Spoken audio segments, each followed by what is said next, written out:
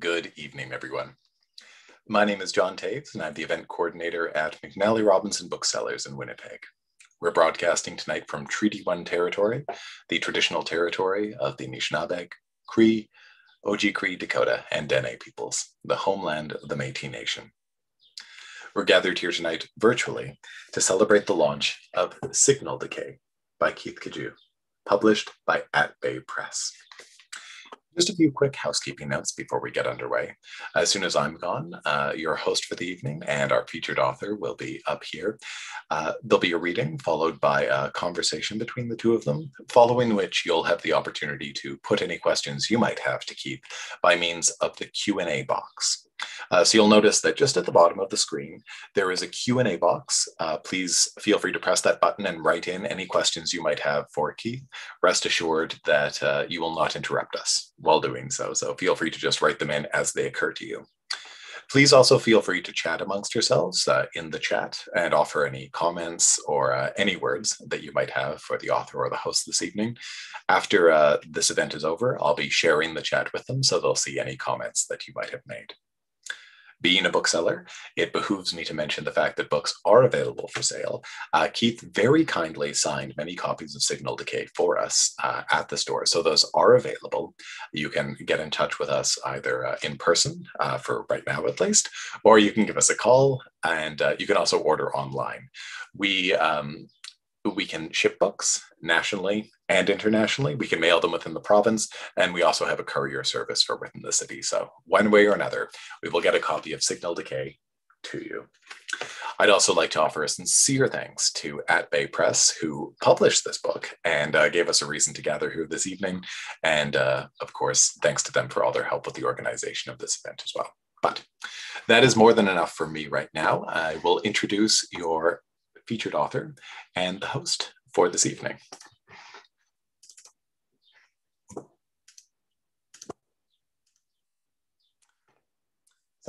Keith Cadieux is a Winnipeg-based writer and editor. His debut, the novella Gaze, was shortlisted for a Manitoba Book Award and a Relit Award. He co-edited the horror anthology, The Shadow over Portage and Main, which was also shortlisted for a Manitoba Book Award, as well as the Phantasmagoriana series, published by the Winnipeg International Writers Festival. His short fiction has appeared in various Canadian fiction venues, including Grain, Prairie Fire, and ELQ, and has been translated into French. Two short stories of his, Stuck and Donner Parties, have appeared on the honorable mentions list of the Best Horror of the Year series, edited by Ellen Datlow. He lives with his partner, the incredible musician Lindsay, and a big dog named Bear.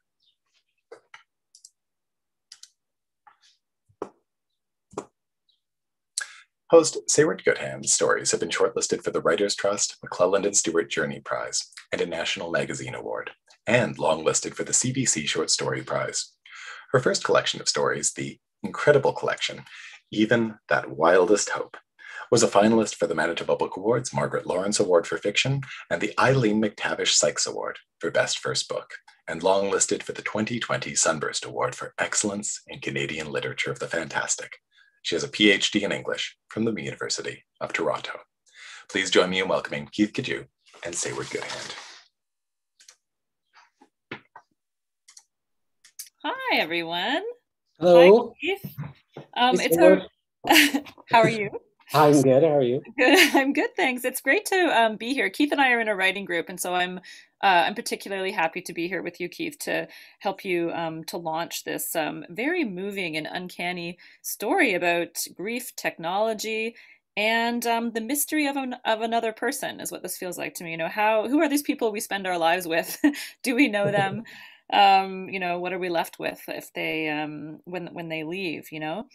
Um, and so you're going to do, um, and thank you to everyone who's here as well. Um, I see your numbers and the participants, and I'm, you know, mm. I'm, I'm glad to have you here. And I'll be keeping my eye on the Q and A if you have, um, if you have uh, questions that you want to ask uh, throughout. Um, so you're going to do a reading in a moment, Keith. Um, but before you do, I thought you might like to take an opportunity um, to introduce people uh, to the form of this story, Signal Decay, a chapbook story. People who might not be familiar with chapbooks, um, who might not have picked up a chapbook story before. It strikes me as I, I really love this form. It's a really um, strikes me as a really hopeful form, um, a real labor of love. I have a, a chapbook story as well. So, for, for people who might not be familiar with this form, what is a chapbook story and what do you like about this form? Sure. This is, um, well, it's, it's, in this particular is at Bay's sort of initiative where they have uh, they have the From the Heart series, which are all sort of smaller chapbook size, and so I they play a lot with different kinds of genres and forms in in that short little short little books like so you can just see that it's just a teeny little thing. Um, so they have ones that are uh, songs and poetry uh, as well as artwork. So there's um, some paintings mixed in there as well. Uh, it it's my first um, dabbling in such a short short form. So like i have done short stories that have been included in uh, anthologies or magazines or like where they're they're grouped together. It, and I'm with you that it is interesting to have something um, sort of digestible all on its own that is just this nice short form. I think there's some really interesting things that can be done with with something there that where it is so so small and uh, where like our our biggest hope for our short stories is they would have a kind of emotional punch or that they they would stay with you. And i think having it just as it's a little book on its own actually really serves that purpose well that um, once you're done you can just sort of close it and put it down. You're not distracted by oh there's there's a whole table of contents here to get through. Um, yeah. yeah so I, I would say that is is like a something about the form that i i really find very interesting. And I'm, I'm glad that at Bay is uh, is taking the chance on on producing these, right? Because they are something where like that's sort of at the whims of the publisher who wants to to experiment with what they print and put out. And so I would I would applaud them and champion their their from the heart series. I'm very yeah, me too, me too. I think, and I think you're right. I think that's a really, um, I think you're right. I think that uh, it does feel like a, a complete whole um, you know entity that has a lot of presence because it's in this form and uh, the, the paintings that i might we might talk about this a little bit later but the paintings that are uh, throughout the story really add a lot of emotional resonance too um, but I think you should. Uh, I think you should tantalize everyone with um, a reading, a reading sure. from Decay, and then we will discuss. Sounds good. So I will. Um, I'll just read like a short section that's right around from the, the first third or so of the story. Uh, we don't need very much preamble, but which is the case with most short short stories. But the the only thing that has sort of happened at, at the start that I'm skipping over just a little bit is is the opening context context. So um, the main character here is Lori, uh, whose husband Tim has died rather suddenly um, and um, une- unexpectedly. And at this point in the story, she is sort of tasked with going through all of his things so that they can be divided up uh, with the rest of his family. And so his family is waiting on her so that they can, you know, sort of come in and swoop, uh, pick up some of their own things that they want. And as well, uh, upon his death, they've discovered that they're, they're quite a bit in debt. And uh, part of the uh, working through all of that has fallen to Lori as well. And um, there's a little bit of tension growing from Tim's side of the family. So at this point in the story, Lori is just home alone going through uh, this sound equipment. That, uh, Tim was a sound engineer, and Tim's mother mother comes over for a visit, and that's just we'll we'll kick off this scene. Uh, and the mother's name is Deborah, so it's Lori, uh, whose husband Tim has died, and her mother-in-law is Deborah. I got your message, Deborah said, pretending not to stare at the mess. Should I put on some coffee for us? She asked. Sure, that's fine, Lori said. She began gathering up some of the clutter and discovered that the garbage can was already full. She pulled the edges of the plastic bag up, tried to cram more inside. Neither spoke while Deborah rinsed the coffee pot and then filled the sink while the coffee maker began to sputter and hiss. Do you have any boxes for me to take since I'm here? Deborah asked, drying her hands. Thanks for doing those, Lori said. And no, no boxes yet. Deborah sighed through pursed lips. In one slow motion, she took off her glasses and started to rub the lenses with the bottom hem of her shirt. I'm about out of patience here, Lori. You won't let us come in and take anything, but you're not doing any of the uh, any of the work. Not all of this stuff is for you. He has family who wants to remember him too. His sisters, his nephew, not to mention me and Gary. She folded the moist, moist tea towel in half and draped it over the handle on the oven door. And then there's the money side of it. None of us knew how badly in debt he was. The both of you were. We're trying not to leave you with all of it, but if you don't want our help, then I know all this. You're not helping me by dredging it in front of my face. I can't just pack him up into boxes and be done with it. It doesn't work that way, not after what he meant to me. This part isn't up to you. I knew him better than any of you. Laurie's face was getting red, hot and red. Her throat felt blocked, a growth of pain trying so hard to claw its way up out of her and spew over the world she'd been left with. Deborah sighed. After one more breath, she reached into the cupboard and took out two mugs, filled them with the coffee. If we sell his equipment, then we can make a real dent into the credit cards. The loans are more complicated, but have more wiggle room, she said. She handed the mug to Lori. I've been working on that. I'm going through the computer, making sure that there isn't anything we should keep or anything useful even. I might find someone to sell all the gear to among all his projects and contracts and stuff. We can't sell that computer without knowing what he left on it. Okay, Deborah said. She blew on her coffee. That sounds fair. Is that what you wanted to show me? No, not exactly. Sort of related, though. Laurie took a gulp of coffee, didn't react when it burnt her tongue in her throat. Come around here, I'll show you on the TV. She hurried around the corner and started picking up remote controls. There were seven laid out on the coffee table. They were the only things in the room not coated in dust or crumbs. The first show Tim made me watch with him was I Love Lucy, she said. His grandfather used to watch that with him when he was little, Deborah said. The two of them would laugh themselves stupid. I never found it all that funny, she said. It still made him laugh, even though he'd seen it over and over, but that wasn't why he wanted to show it to me. He said it was the reason he got into sound design. We watched a few episodes that I could hear how the husband, Ricky, laughs. They were husband and wife in real life. He loved telling me stuff like that. She took a sip of coffee and Deborah refilled her mug and came back. Anyway, as you probably noticed, if you've seen it, the actor who plays Ricky has a very distinct, very loud laugh. At first, I thought it was obnoxious and just that it was bad acting. There's no way someone really laughs like that. But then Tim showed me a bunch of scenes that he's not in, but you can hear that laugh in the background.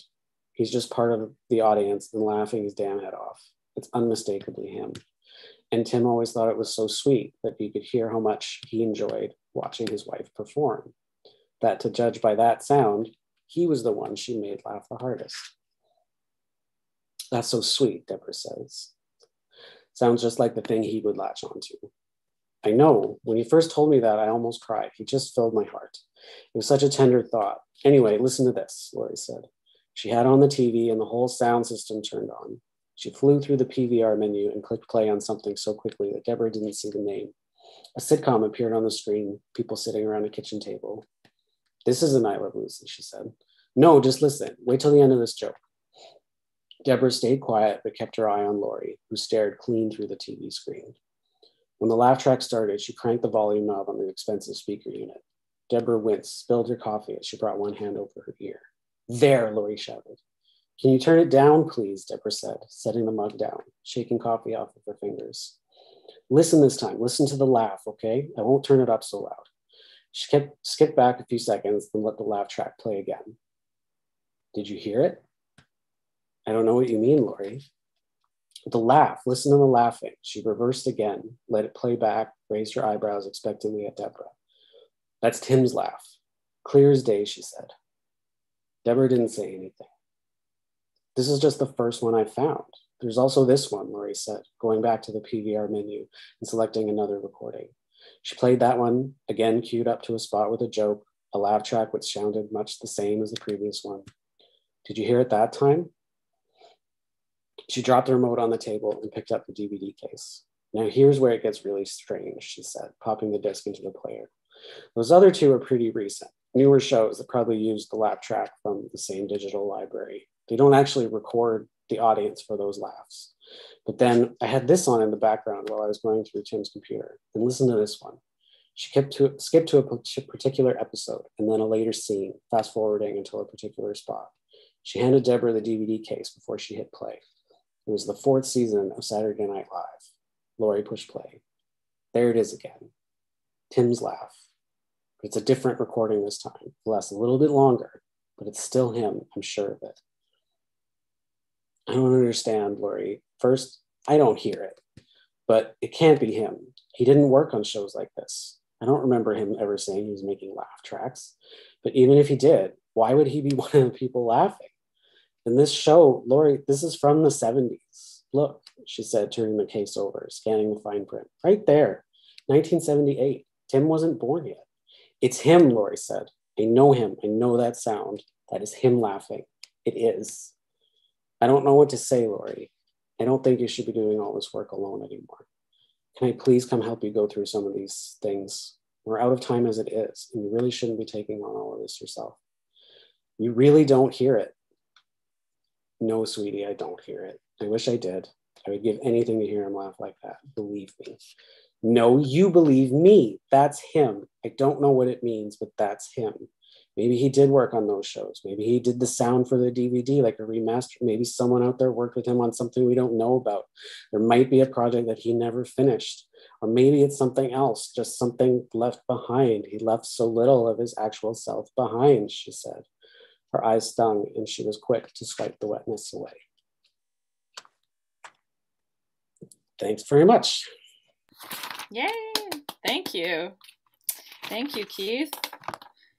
Um, so I think as I think as everyone said could sort of hear there, this story is very scenic, right?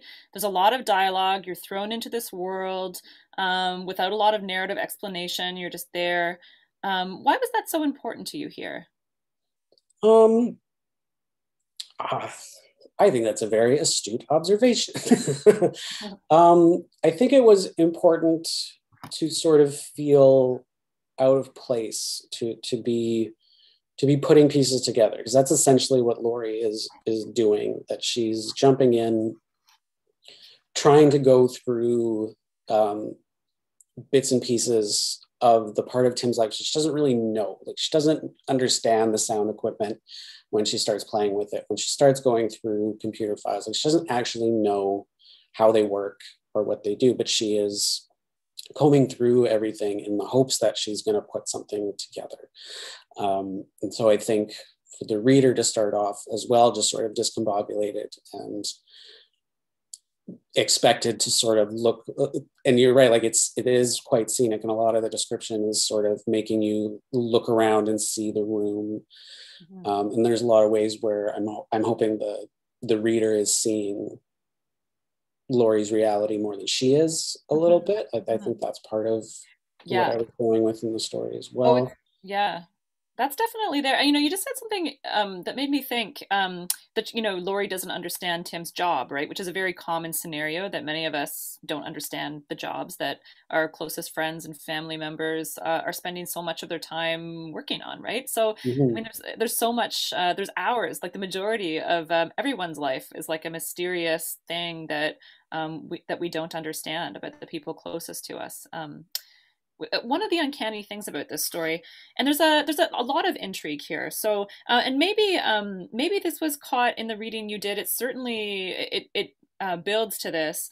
Um but the way other characters respond to Laurie um is particularly disorienting right? We we feel their mistrust of her their suspicion of her. We have a lot of uh questions. It's very uncanny and so, um, on the one hand, you know, this story is realist, the scenario is plausible, it's written in that realist register. On the other hand, um, there are, uh, you know, some some elements of the uncanny and of horror here, which of course is something that mm. you work in. So, um, what draws you to that, to to the uncanny, to horror, and you know, is there a sort of uncanny wash to this more realist story? Mm-hmm. Um, yeah, um, I am definitely. I would self-describe as as a horror writer. It's definitely what I'm most interested in.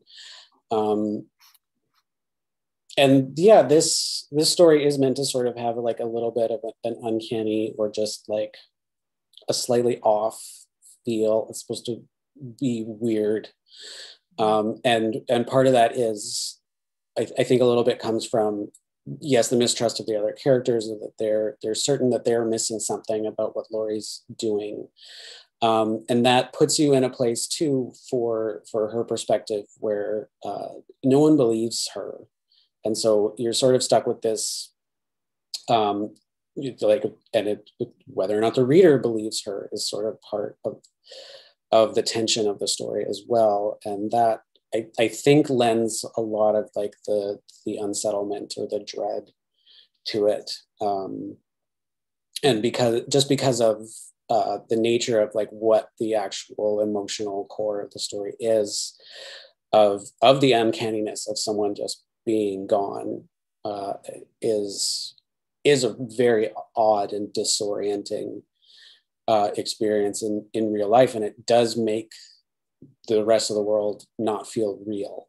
Um, mm-hmm. It does all of a sudden have this performativity that mm-hmm. this this little bit of of what you're seeing is not what anyone else is seeing. Mm-hmm. Um, and I really like um, what stories like that can do in terms of awake, awakening an emotion in the reader that maybe they're not, they wouldn't get just from straight up saying, oh, it's sad, story is sad, right? Um, and even like with horror and something being scary, like it's more more the pickup of dread um, of, of something being off and, mm-hmm. and not knowing how to how to put it right. Mm-hmm. Um, I think that's something that I I really enjoy um, as as a, as a reader and as like an absorber of other art. So something um, that has occurred to me during the pandemic because I've been reading lots of horror stuff and other thinkers on horror and something that just clued in uh, and made perfect sense to me is that uh, I've always been like a pretty anxious person, and it tends to be anxious people who really like dark horror. And um, what I read was um, that essentially uh, the horror movie proves that you thinking of the worst scenario that you were right. Yeah. Um, it really could be this bad, and so you sort of if, if, you're quite anxious, you sort of go through the worst case scenario all the time anyway. Mm-hmm. And you're sort of always ramping up and preparing for that. And when you watch a horror movie, it's just like you know it is going to be the worst case scenario. You can just sit back and let it happen. Just like told you. Yeah.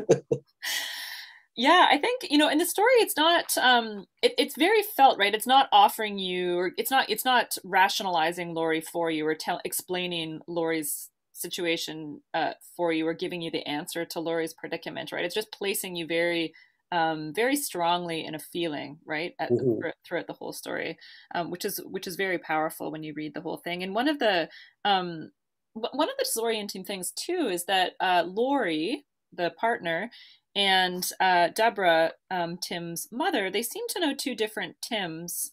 Um, right? They remember and and we know what this is like right? We're uh, we're different around different people. We're different around our family than we are around our friends. Different people draw out um, different aspects of us but sometimes we're you know uh, scarily completely different around different people you know? And mm-hmm. you know what does that what does that say about the idea um, of identity? You know the story's organized around this silent abs- this absence right this absence mm-hmm. of a person but it feels it's an absent a, a present absence you know but what does that say about the idea of identity. Is identity that? Is it an idea? Mm-hmm. Yeah, I think I think it's very hard to put together the identity of somebody else, mm-hmm. um, and so that's something where, but our own identities do impact the other the other people. And you're, you're right, like, like you say, uh, especially with somebody very close, um, sometimes you do uh, discover how different they are around particular people and especially with like a partner like a husband wife or or just a long-term relationship and then the parents and especially if if you've been together with somebody for a long time and it's a long time before you meet their parents there can be a uh, a shock um, but but yeah i think a big part of the story and like a big part of why the absence was important to me or like like tim is just not in this story uh, yeah. there's no way for the reader to get at Tim. Yeah. Um, there's no way to tell um, if Laurie is right or Deborah is right, or if they're both right. Um, so there, like, there is this little bit where um, everybody else that he encountered got an impression of of Tim, but mm-hmm. everyone's is incomplete, and they're all di- incomplete in different ways. Mm-hmm. Um, and the the person themselves, like, they are the the missing puzzle piece, and if they're if if they have died and like that's just it's really really missing like very mm-hmm. profoundly missing mm-hmm. um, and there's just sort of no way to get at it but mm-hmm. when you miss that person i think you you look you, you try to put it back together Mm-hmm. Um, you you try looking for those other pieces. You try to find like, and as you like learn different aspects that you didn't know, you, you search out other ones. So, mm-hmm. um, like Laurie is, you know, certain she's going to find something mm-hmm. that she didn't know existed in in this mm-hmm. computer on these files in his old emails. That there will be something that is going to make this clearer or make it easier. Um, yeah. And that's sort of her her quest all the way through.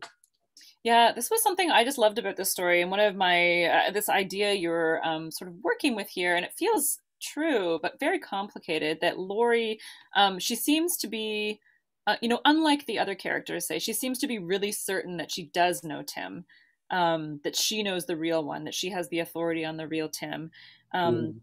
Uh, that she, uh, you know, can can see all the way around him, has this sort of complete uh, knowledge of him and in the whole arc of his life, and that disturbs her, right? That idea that she has a complete knowledge of Tim. And what she's wanting is to find a mystery, right? She wants to find like a secret, a dark secret, something, mm-hmm. um, something else. It's such a great idea. Um, mm-hmm. What what made you, you know, it, it feels very true. I mean, what made you go mm-hmm. with that? Um, well, that is just something that that's sort of the only connection she has left. And if there is no mystery, then there's nothing left to do but divide up his stuff give give his mom like give the rest of his family the things that they want mm-hmm. um, and and to just sort of move aside and be done and i think there is like everybody would handle it very differently when there's like a death like close in the family but there are these ways wherein we we resist the next step forward of like the, the moving on part or like if it even is moving on i think there's a lot of ways that it gets misconstrued of, mm-hmm. of like okay now it's done and like we're we're finished with it over mm-hmm. here now mm-hmm. um, and so i think really at the core that that is what lori is afraid of in terms of like it it just being done mm-hmm. um, tim's gone uh, there's and if if there's no mystery if there's if there's no rabbit hole to go down then what does she do right um, then it's all over yeah and it just it's something that would make it more more real i, mm-hmm. I imagine right like there's mm-hmm. um, Judith Owens is asking something here. I'll come back to some of my questions, but I think I might weave in some audience questions as we go instead of saving them for the end, maybe. Sure. Um, Judith Owens is asking, how important is a place or setting in evoking a sense of the uncanniness for you? Hmm. Um, well, this this one is sort of an interesting example of that because the the setting is important, but the setting sort of centers around a non-setting of like listening to claustrophobic, right? Yeah, so it is very very small, um, and it's it's sort of um, Laurie putting herself into a tighter and tighter box of of sort of shutting the world out and, and going down the rabbit hole of of like I don't know, not to be too uh, video dromy or uh, but like she's diving into the computer screen or like into the the digital version yeah. of it. Like she's so absorbed with that that she's sort of left the little bit of the outside world completely behind. Mm-hmm. Um, and so in that sense, like the the physical setting is is very small and claustrophobic, but it needs to feel like where she's putting her attention is endless, that she could go down this hole forever. Mm-hmm. Um, and so I think, yeah, like in the in the uncanny for setting the tone, like the setting in uncanny literature, I think is very important because it has to establish that that something is off Mm-hmm. Um, there is something about the world that is different here. And then that's where we start, like, we recognize it. It looks like we should understand the rules. We should know how this works. Mm-hmm. And then if Laurie really does hear this laugh, then the, then the rules are broken, right? Then mm-hmm. then then we're missing something. We don't actually understand, and I think that's where like the the slippage mm-hmm. is where the uncanny feeling comes from. And I think mm-hmm. the setting is most often what sets that in motion. Mm-hmm. There's something uncanny about about the internet and our digital world. I'm thinking of you know, say you're taking a break from your phone and you're trying to digitally purge, and then you know you you walk around and the people around you are um, are staring at their phones, you know, and and there and there's something uncanny about that, right? And the experience of looking at someone looking at their phone when you've decided not to look at your phone, and you maybe if you're you feel like stop you know uh, come back come back to the world where i am come back but you know that their experience is is uh, similar to the one you described right? That they're in this ever expanding rabbit hole of warren of whatever of the of this internet this infinite um, place that a digital universe feels like but then um, you know it's not what it looks like when you're when you're looking at the person consuming it. Yeah for sure. And it, like even in terms of uh, like new technology always the, there will eventually be some crazy horror or ghost story that, that comes and the internet has proven to be a really really good one where there's just endless weirdness um, and uh, the ability to like make something that's not real look like maybe it is or um, you know like the, the weird phantom youtube videos like that's a rabbit hole you can go down where there's like there's these 25 hour long like the sort of essentially static signals that are on YouTube that people watch, and like there's certain like there's something in there. Right, or, right, right. Or, yeah, we uh, have these meaning meaning making brains, right? We can find it. Yeah, uh, exactly. It and so the, the the internet is is very vast, and like you're right, has like this infinite. We keep adding to it, and yet the edges of it are all frayed and broken, and just yeah. sort, it just sort of dissipates and that's a great place for your mind to get to latch on to like i'm going to figure that out. I'm gonna I'm gonna put yeah. the pattern here to what's what doesn't have one. Yeah, yeah.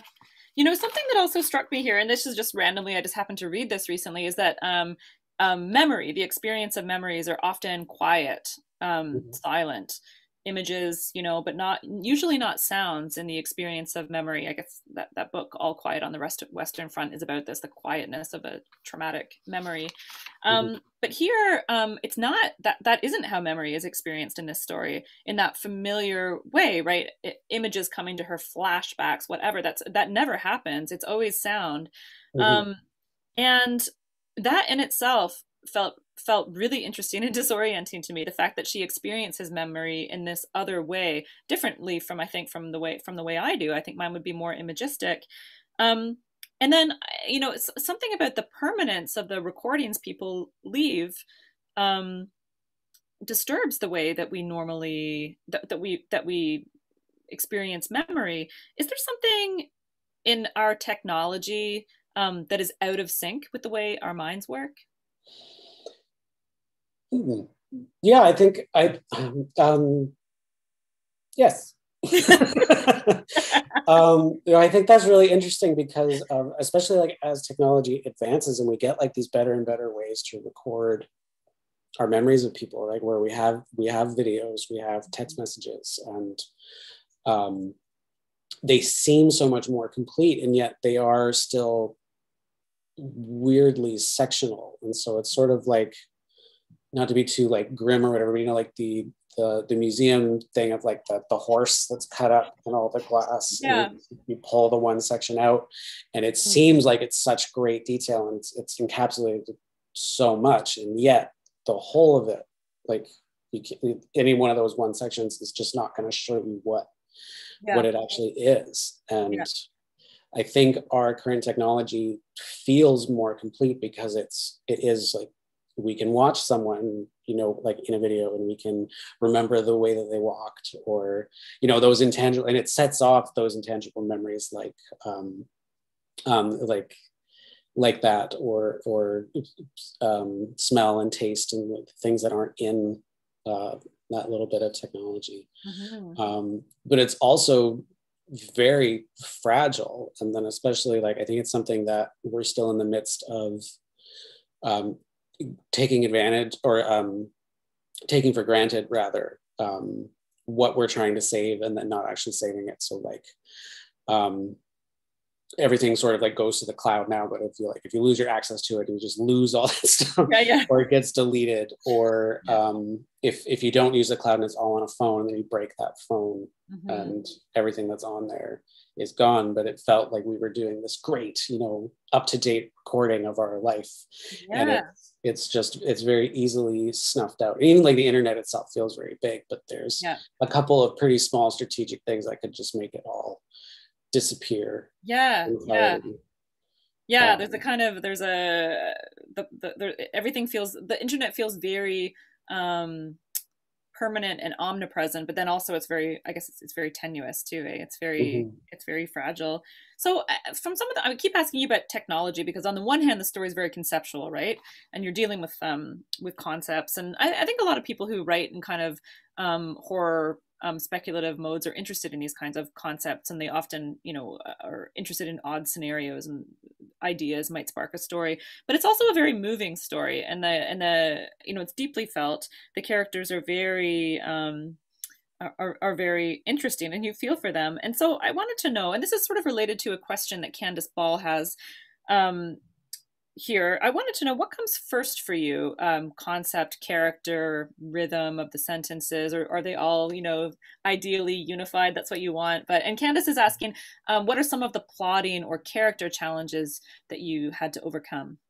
Sure. Um, so this, yeah, you're right. And, and I'm definitely one of those writers who I'm, I'm drawn to like a very odd, small instance or, or like something that, that seems very um, niche or that that I can go down the rabbit hole and start researching. Oh, neat, and then I'll start looking more and more into it. So this very much started with um, uh, late, like later in the story. There is mention of this device that's called the Charley Douglass Laff Box, um, which was an old Hollywood thing. Um, so, I, like I mentioned, I Love Lucy, which had had an audience, and that was like that was the very first show that was recorded to be uh, replayed. So it was the first show that had reruns. Um, and there's like there's laughing, but that's that's pretty much just the crew, uh, and so it's and they they do manipulate it and add it in. But uh, shows like that started to become more. It, it, it became very obvious to producers that um, if you could tell the audience when to laugh, they laughed harder and they enjoy people enjoyed watching shows where other people were laughing more. So they started figuring out like well we'll we'll film everything in these big studios and we'll bring in audiences and that sort of to get more and more unruly. We're like trying to have 100 people um, and then if, if it's a real audience they don't always respond the way you want and you can't manipulate it. Uh, so this sound engineer charley douglass uh, made this machine uh, where he recorded individual laughs one at a time and ran them through this like very early sound processor where he mixed them all together um, and he was he, like he was the only person doing it. So it was like a proprietary technology that he would go from studio to studio and he, would sort of custom make them a laugh track for their show.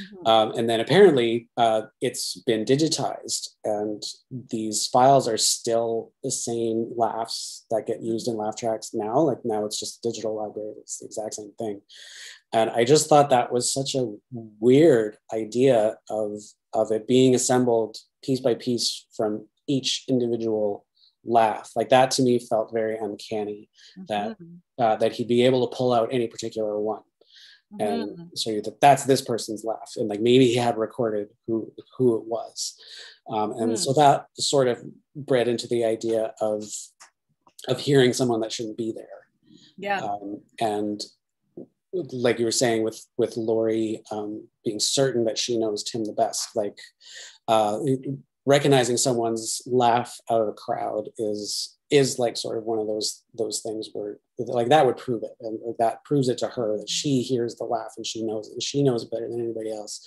mm-hmm. she knows it's there mm-hmm. um, but for anybody else it would be impossible mm-hmm. to hear it um yeah like even like even for his mother so like that's read more as uh skepticism that his mother doesn't hear it but if you were to like even one of tim's friends like in theory they wouldn't know his laugh as well as she did to be able to pick it out to that yeah yeah um, I'm gonna try. I'm gonna try and relate this conversation on laughs to Jonathan Ball's question about Baudrillard but he's he's it's about all it's about it's, yes summarize all of Baudrillard Keith no yeah. it's, about, it's about um it's about objects and eh, you know objects having a life of their own or objects um uh do objects are, are we attracted to objects and desire them? Do objects have an attractive force? Do they have desire? And what's a like what's a laugh on a laugh track? It's this human trace i guess but also an object. It's this you know maybe this sort of hybrid thing. So um are is, is that another way of producing uncanniness here is giving objects like a laugh track a kind of life? Sure. I, and i think yeah like in this context like the, the way we're the way we're looking at it, I would say that the laugh track itself is this sort of odd object, and so that is something um, that that Laurie is is sort of doing. That she's assigning this sort of tangible objecthood to to things that are more or less intangible. That there's no way to get that laugh, but she, like she's gonna like she's gonna find this way to grab it and hold it and and have it. Um, and that is sort of like uh, like Tim as an object as well. And so like there's this the Tim that she misses um, is is her object of desire, and it, it has this mm-hmm. force that's mm-hmm. pulling her along. Yeah. Um, yeah, as a mem- yeah. is a memory now an object, right? Is it suddenly mm-hmm. and yeah. Yeah, so like all these different intangible things sort of end up having the same kind of draw as an actual object, and they're they're being treated and pursued as as objects. So they're they're sort of this self fulfilling prophecy of that that's not what they are, but by by treating them that way or by seeking them out in that way, we are giving them that that status. Mm-hmm. Um, I think that's that's quite interesting. And so, like in terms of like the actual box or like the a real object in the story would be the box that she ends up. Um, the, the, as the story goes, we find out that Tim knew what it was and that he wanted it. Um, and so that in turn, like that becomes his object desire and it sort of transfers over to her and she starts absorbing mm-hmm. traits of, of him, like yeah. in, in this pursuit. But, Jonathan saying if it's a horror story, is the laugh track the monster? Maybe. Oh, maybe kind of it kind of does act that way. And Judith is um Judith uh, is making a remark here about the relationship between technology and memory, um, and the limit the ways that it might uh, limit our imaginative capacity. This is somewhat related to what you were saying about um, uh, laugh tracks. Just the fact that we laugh along when there is a laugh track, and we shouldn't feel guilty about that. We're social animals. We're going to laugh when other people laugh and yawn when other people laugh. It's okay. It's okay.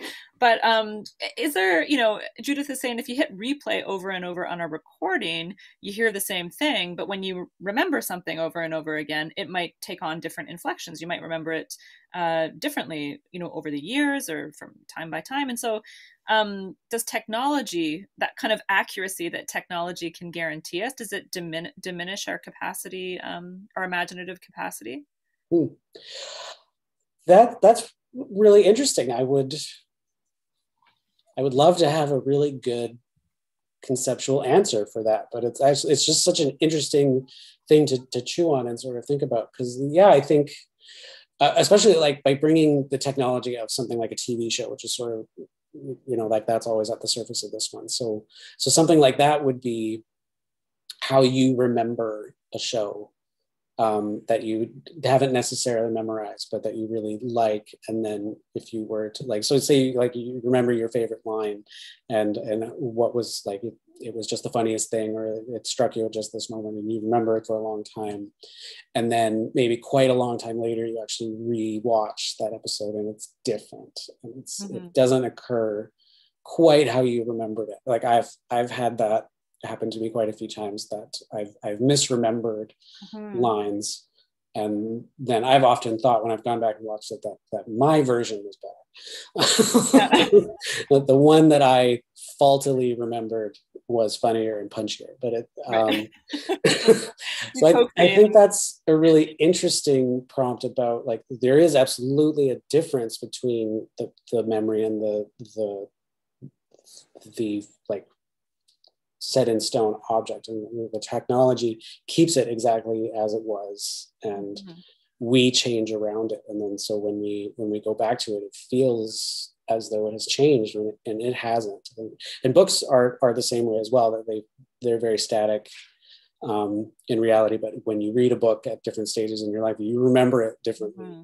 There's, mm-hmm. there's, and maybe just because books are longer um, and the way we absorb them is so different but no one sort of expects to mm-hmm. read a book another time and for it to be exactly the same like you mm-hmm. re- reread them to see something different mm-hmm. um, and maybe rewatching our favorite shows we we aren't doing that what we want is for it to be exactly the same um, and that's something I've, I've, even been reading about a little bit in, in, terms of the pandemic that like lots of people are rewatching the same things over and over mm. uh, because it takes away the sort of anxiety about everything else in their life is so unpredictable but right.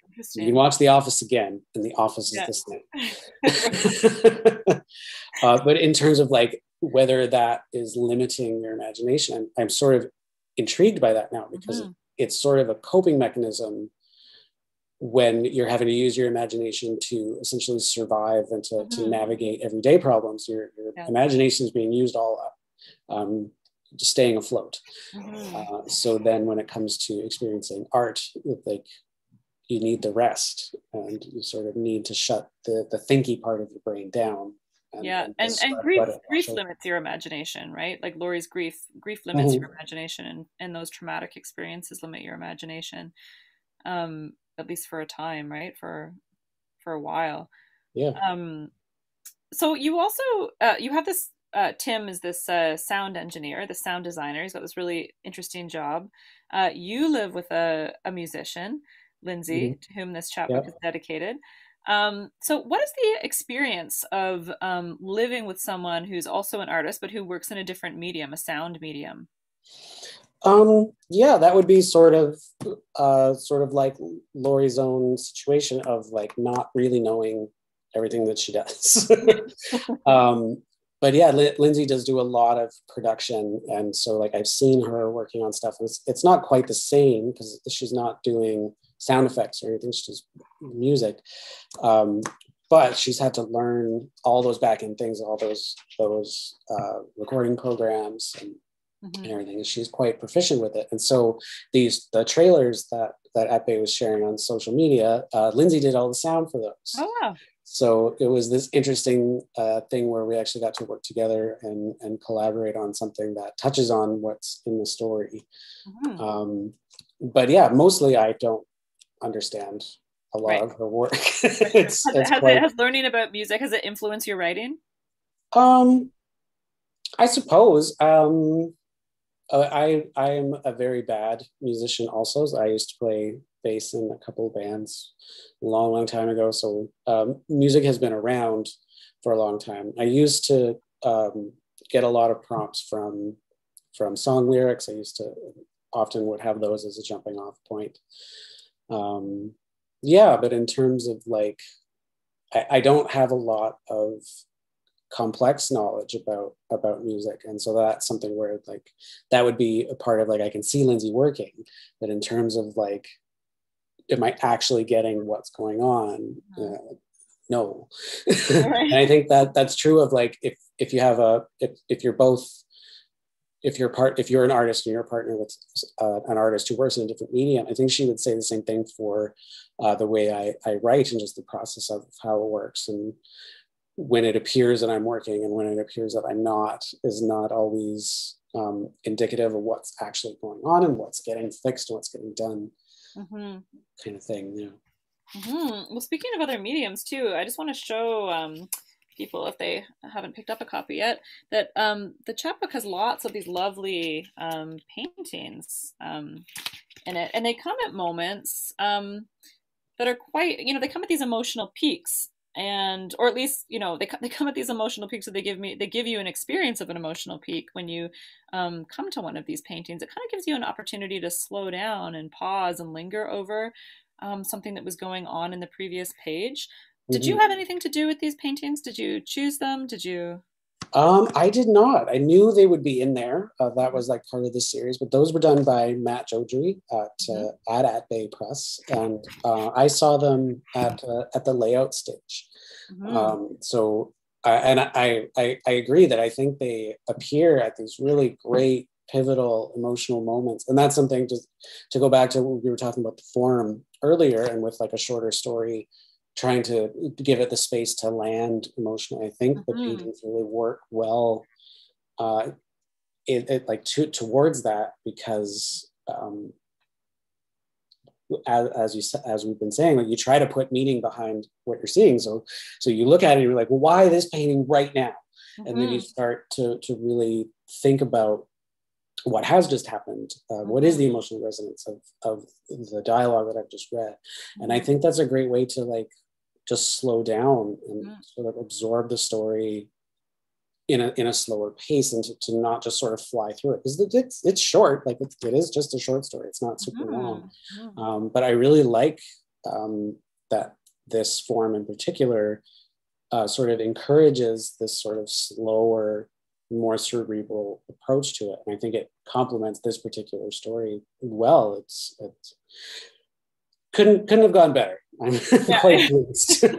yeah, no, I I think um I think the paintings were just great. I think that they uh, yeah they they give you pause and they help your feelings expand in that moment. Um, Joanna is asking, going back to the relationship between memory and technology. I've also heard that your memory will fill in any gaps that it has with content that makes sense to you. Um, so in this way, it can solidify and protect your own perceptions of people and the world. Maybe maybe if, even if they're unreal perceptions. But the relenting accuracy of technology would threaten that, couldn't it? Is that part of what's happening to Laurie at the end of the story when she's watching Deborah's home movies? Hmm. Ooh, I like that too. Yeah.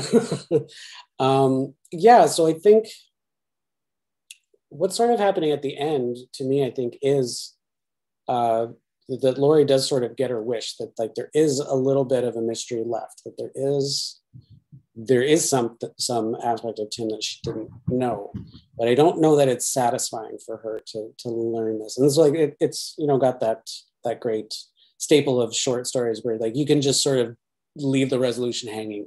You don't you don't have to. Ooh, I don't know. what do you think happened to um, but yeah, I think there is. Um, it does challenge Laurie's assertion that she knows him the best. Mm-hmm. And at the very least, it doesn't necessarily knock her off the pedestal in terms of like you weren't as close as you thought, but mm-hmm. it does make space for Deborah as well. Uh, and it mm-hmm. just sort of it opens up and and shows that maybe it's not as restrictive as as Laurie was thinking, and that Deborah's version is just as valid. Mm-hmm. Um, and sort of also needs to be dealt with and where uh, if Laurie is looking for this aspect about him that like there's got to be something else I don't know uh, and then there is like there is a whole life before her essentially where mm-hmm. she can mm-hmm. have tidbits about it but she, she doesn't know she doesn't yeah. know that Tim and yeah. Deborah may not know Laurie's Tim mm-hmm. but Laurie doesn't know Deborah's Tim yeah that was really that came across very powerfully and it also it really made you start to uh, think about how you how we experience love right like um and people have thought about this but to what degree is the experience of love the experience i mean you want it to be a full experience of this other person but to what degree is it sometimes an experience of the self it's a very scary mm-hmm. question yeah. you know um but uh, that's the place the story i think brings you to you know to what degree is laurie's experience of her love an experience of another person or an experience of herself mm-hmm. Mm-hmm. Um, oh, Judith is saying, uh, oh, did the do the paintings? Uh, she says she hasn't picked up the book yet, so she hasn't seen the paintings yet. But do the paintings invite you to go back over what you've just read to see something different in the story? Well, they certainly could. I think they, they come well because they, they do sort of appear at places that have natural breaks. Um, like they're often scene cappers or like right after something major has happened. Um, yeah. So I think so. And I, I really liked um, sort of reading it, reading in detail, and then uh, like sort of looking at how the paintings are changing. So like the, the, the composition of the paintings change throughout the story. And then so like I was doing like even though I wrote it, I was like, ooh, okay, what what's being reflected here? And um, trying to sort of track how how the the images are responding to what's happening in the story. And because they're such abstract images, like what I'm seeing and what I'm relating as you know the visual representation is going to be different for other people right so like where like there's swirly strokes and then there's like these garish sort of mm-hmm. straight lines cut through. And so there's for me, mm-hmm. um, I'm assigning sort of mm-hmm. emotional value to those. And it's like, oh, what like the jagged lines were mm-hmm. getting at this, but that's going to be different for everybody else. And I really like uh, that that possibility, and that's something like I was saying about rereading books. Um, that might be if you if you don't look at this for a long time and come back to it, um, remembering what you thought the paintings meant. Uh, mm-hmm. Uh, they might be different on another go around mm-hmm. later. They don't feel they're not tranquil. They're not like tranquil um, paintings, right? They're quite um, they're vivid, even though they're in black and white. They're vivid and they're quite stark, and they seem, you know, uh, the feeling is is one of disturbance, right? Of the mm-hmm. of the paintings, yeah. Um, so we're almost running out of time um, here, Keith. But I just wanted to um, to talk about a little bit about William Shatner. I don't know if you've seen William oh. Shatner. He's recording this hologram. Have you seen this? This hologram. um, this very, very like in-depth, complicated, complex hologram that he's spending a lot of time recording. William Shatner, who looks just terrifyingly young, even though he's now in his 90s. Um, but this hologram that that can, you know, continue on after he's died. Um, is, it, are people going to be doing this, Keith? Is your little writerly intuition? What do you? um, I don't know. It's certainly like it's part of our media already. Like there's a lot of jokes about this happening. Like there's on Community when Chevy Chase's character is dead, he turns up as a hologram. Mm-hmm. Um, on the show Superstore, they they have like there's a which is like a stand-in for Walmart, and their oldest floor worker is fired because she's too old, and then they replace her with a hologram that looks just like her, and and greets people at the store. Right. Uh, so it's something where we seem to be fixated on it at the moment. Uh, like whether or not it's going to continue forward would be like a sort of a fascinatingly terrifying idea. Could but, you have uh, a relationship with a hologram? I hope not. That would be odd. but yeah, and then there's like there's that Black Mirror episode where uh, with the, the, AI that can uh, read someone's texts and then can can write new ones in their style, uh, which is apparently a real service now. um, that there are uh, like and like when you get AI to write a new Hallmark movie and then it's all very funny, but isn't it scary the idea that you could feed it someone's text messages throughout their life and that it could then approximate what their answer would be. Um, right. Um, so we're definitely playing with that idea of of making a fake version yeah. that, that will outlast the real the real person. And so like that's something again like when we're talking about technology and memory, it, it on its surface it seems like it would be very complete and like oh we'd almost have that person, mm-hmm. but then like I have a feeling William Shatner's hologram is not going to look like 90 year old William Shatner. It's going to look like young William Shatner. But 90 year old William Shatner looks like young William Shatner, though. So. so maybe it's already been done. yeah, maybe he's already, yeah, he might already be a hologram. Right. But then, like, you could, um, it, it might be the version of William Shatner that he wants everyone to remember rather mm-hmm. That's real right. William Shatner. Mm-hmm. So, in, in that way, like, feels very complete. And yet, um, easily manipulated manipulated or changed or mm-hmm. altered in some in some way or like we could change it ourselves like we could just make a better version of the people we like we just wipe out things that we find annoying about them we just mm-hmm. take it out of mm-hmm. their hologram and we don't need the real person yeah and then that and then who it you know it's it's almost like um uh you know kind of like the relationship we have with our pets right they're like real relationships you have a pet but also there's a mm-hmm. bit of maybe projection going on there you're seeing uh, what you need in the in the relationship with the pet you know um mm-hmm. and yeah yeah, sure. yeah yeah i do i do worry that we anthropomorphize the dog too yeah. much in his emotions yeah, he seems, he seems to, to, like. He seems to like. It. He seems to like it. It's okay. Yeah. um. So I think we're gonna we're basically at time now, but we have one last question from Jonathan Ball, who says Guy Maddin told me once that a company offered Roger Ebert his own voice after he'd lost it, put together from his recordings. He was horrified and refused it, supposedly. Wow. So yeah, that's sort of the same idea. Like, isn't that like? It seems like I'm sure when they brought that to Roger Ebert, they were like, "What? A, like we have such a good idea, aren't you excited?" And he's just like, "No, no, no." but, but uh, we have like a similar like th- that. It makes me think of putting dead actors into movies. Um, so like, mm. this, like putting Carrie Fisher back into Star Wars, and um, they they were doing it earlier. Um, because there's and it was Star Wars again, but one of the I can't remember all the names, and someone in the comments will say, but there was one of the older actors um, who had died before the new ones were made, and they so they digitally put him in Rogue One. Um, but he's not alive anymore. mm-hmm. um, and just, yeah, the, we're sort of in that stage of things now where we don't even need the real actors. So if, the, if we do it for dead actors as a tribute, when do we start doing it so to replace the real actors? Like if you have an actor who has a prickly reputation, maybe you just use the robot version. You don't have to deal with them at all. And it's sort of it becomes very dystopic very quickly. So I'm I'm glad Roger Ebert was was horrified at this idea and didn't want to do it. That gives me some hope. yeah, that's right. Judith says or paid him. That's right, Judith. Yeah. Yeah. Free labor with the robots. Yeah, yeah. exactly. Yeah.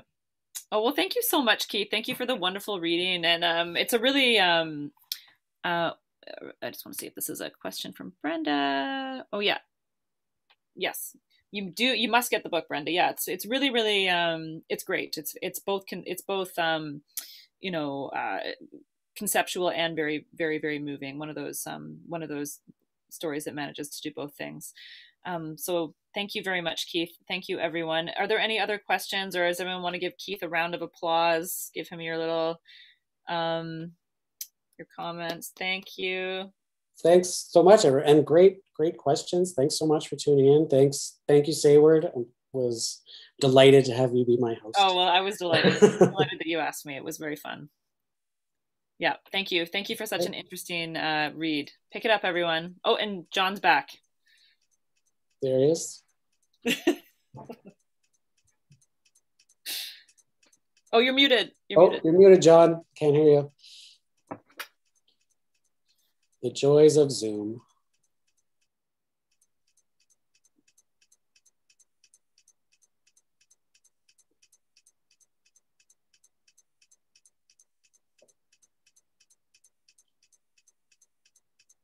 There's just a clicking sound that might be. Yeah, I can hear a click. wasn't sure which who that was coming from. Can you hear me now? Yes. There it is. Yes. Perfect. My uh, my camera has apparently stopped uh, accepting audio, so I'm now using my computer's audio. Okay. so that was a good bit moment of uh, Ghost in the Machine eeriness to close down. Nothing else. I'd uh, like to express my sincere thanks to uh, you, Seyward, for your inimitable hosting. Thank you very, very much for coming on board for this evening. Uh, again, as a reminder to everyone, her uh, collection of short stories, Even That Wildest Hope, is spectacular and available at the bookstore. Uh, huge thanks to you, Keith, for writing such an incredible book. In keeping with the uh, the sound that we've been talking about, it is such an incredibly resonant read. It's one of those books that kind of just lurks and uh, haunts your brain for hours after you've read it. So, and it also a book that very much rewards rereading. So, if you do have an opportunity, please do pick up Signal Decay. Uh, again, we have signed copies, which Keith has very kindly signed. So those are available at the store. I'd like to thank all you in the audience, uh, both here in the webinar and uh, on YouTube watching now and again in keeping with the uncanny uh, technology we've been discussing in the future as this video will remain live on YouTube. So if you'd like to revisit any of this conversation or if you'd like to share it with anybody who wasn't able to make it this evening, please do feel free and uh, go ahead and do so. Thanks again to Matt Joudrey of At Bay Press and uh, to all of you for your incredibly insightful questions and all of your commentary. It's been a real pleasure spending the evening with all of you. So please join me one more time in a silent yet virtual acknowledgement and celebration of Keith yeah. and his new book. Thanks so much, everyone.